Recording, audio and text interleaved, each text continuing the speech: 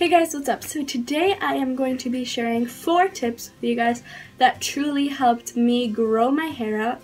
Um, a little backtrack, I cut my hair up to here when I was around nine years old, I think. I was in fifth grade. I don't really know the age, to be honest with you.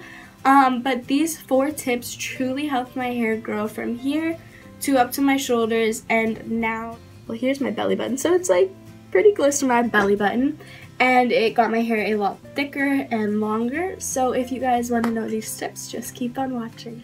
Okay, so the first tip I have is to use no heat. Now I know this is pretty basic and it's actually kind of hard to follow because if you're like me, you really like your hair straight or sometimes people like it really curly, just depends.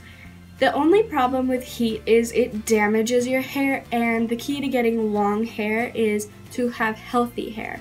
And that's what I followed, that kind of motto of if you really, really want long hair, you have to have healthy hair. So in order to do that, when I cut my hair, I cut it around September before I went back to school. And when I was entering sixth grade, I remember it was like kind of around my shoulders. I don't remember it was exactly here, but it was like around that area. And it grew a lot because I just threw my hair like into a pony or a bun and not use absolutely any heat.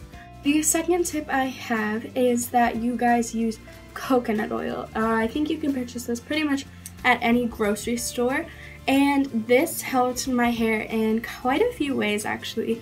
The number one way is it made my hair very very strong and that's a very very important step because again strong healthy hair is what's going to get you very long and nice hair. And it also helps because around the winter time, I when I was trying to grow my hair out, I had very, very a very very dry scalp, so that helped with that quite a lot, and it kind of just gave a calm, cooling effect. And the third tip I have for you guys is to use yogurt. Now I'm not saying go get your yogurt plate and plop it on top of your head. I'm saying go to your grocery store and go where the yogurt section is and pick up a container of Greek yogurt. Now what Greek yogurt is going to do, what I like to do is put it on, kind of really get into my scalp and then wash it off and then use shampoo and conditioner you know all that stuff. And what this does is one, it made my hair super super soft and it also helped kind of because I was massaging it kind of like a hair mask it helped the circulation and that really helped it grow and it also made it very, very, very soft, which was also a bonus because who doesn't like soft hair? And the fourth and final tip is that you guys, every, I think it's like three or six months, you are supposed to get a trim. Now, if you're like me and you've gotten your hair up to a certain length and you're like, no, I don't want to cut it, that's, that's me currently, get a dusting.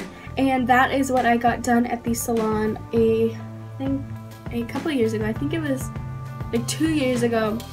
I truly, I'm gonna be honest with you guys, I don't get trims or dustings that often, but this did help in the process to grow my hair. But this really is a alternative if you do not want a trim because they don't take off as much hair because in a trim I know they take off, they say, oh, we'll take off a little amount, but they end up taking off like a couple inches and then you were just like, I feel you 100%. I hope these tips helped you guys out.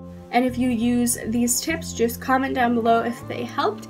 And yeah, I hope you guys enjoyed this video and I will talk to you guys later.